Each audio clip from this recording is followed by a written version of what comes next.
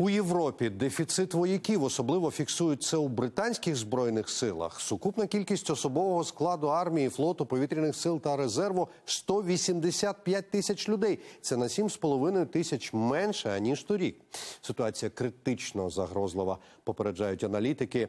Не набагато краще і в німецьких збройних силах. У чому проблема з військами у двох політичних важковаговиків розбиралися Світлана Чернецька в Лондоні і Тетяна Логунова у Берліні.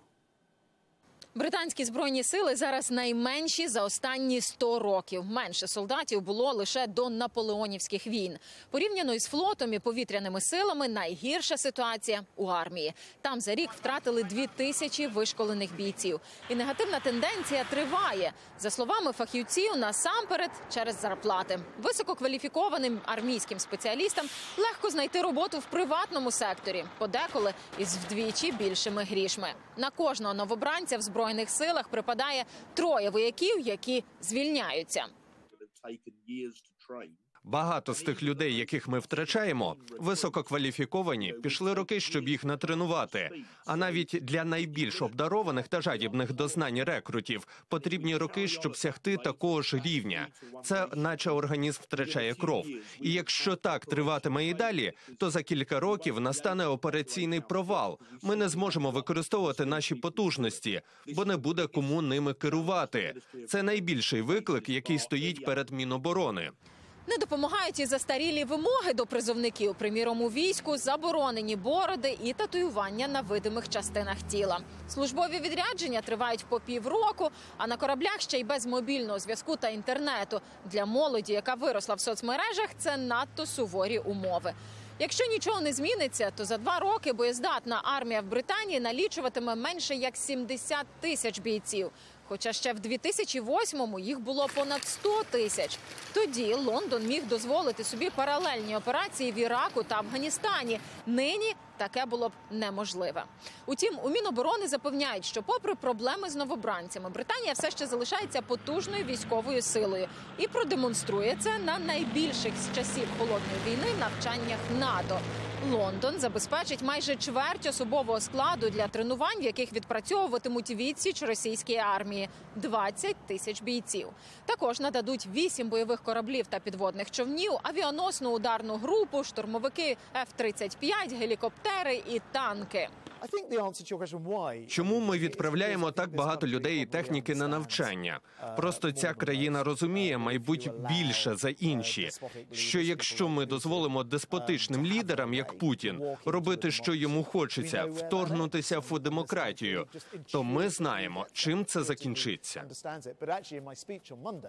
Загалом у цих масштабних маневрах візьмуть участь усі члени НАТО. Це 31 країна плюс Швеція. Німеччина, зокрема, збирається відрядити 10 тисяч військовиків.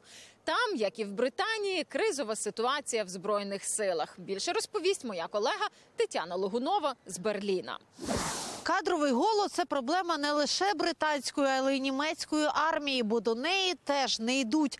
Призов в країні скасували ще 13 років тому, і відтоді Бундесвер постійно скаржився, що програє іншим роботодавцям на ринку праці.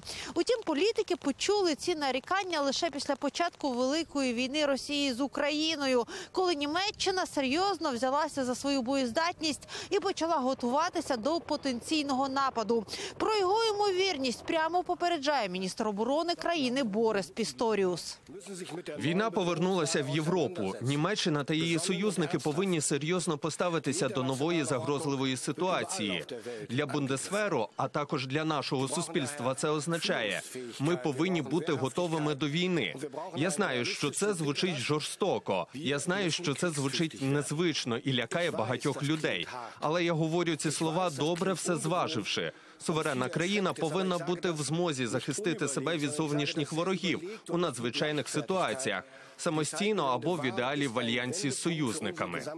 Нині у лавах німецької армії служать 180 тисяч чоловіків та жінок для забезпечення обороноздатності країни. Треба, щоб їх було щонайменше 203 тисячі.